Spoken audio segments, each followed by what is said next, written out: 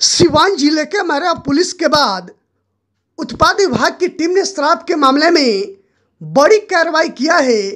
शाम उत्पाद विभाग के एएसआई सुनील कुमार यादव के नेतृत्व में टीम ने धरनी छापर पेट्रोल पंप के समीप एक लग्जरी कार में रखी भारी मात्रा में शराब के साथ चालक समेत दो तस्कर को गिरफ़्तार किया है। टीम ने कार समेत गिरफ़्तार तस्करों को सिवान उत्पाद थाना लेकर गई, जहाँ जाँच करने पर 135 लीटर अंग्रेज़ी शराब को बरामद किया गया। गिरफ़्तार तस्करों की पहचान हाजीपुर थाना क्षेत्र के महेश कुमार और जितेंद्र कुमार के रूप में हुई। शराब तस्कर यूपी से शराब लेकर पटना जा रहे थे।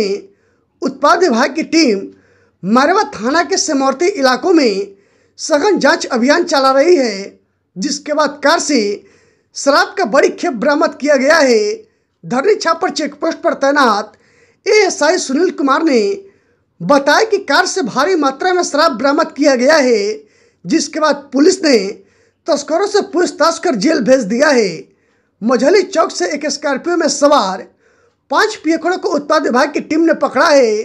धरनी छापर चेक पोस्ट पर उत्पाद विभाग की टीम ने सघन जाँच के क्रम में एक तेज रफ्तार में स्कॉर्पियो गाड़ी के जाने पर टीम ने पीछा किया, जहाँ स्कॉर्पियो गाड़ी को पुलिस ने मझली चौक के समीप पकड़ लिया।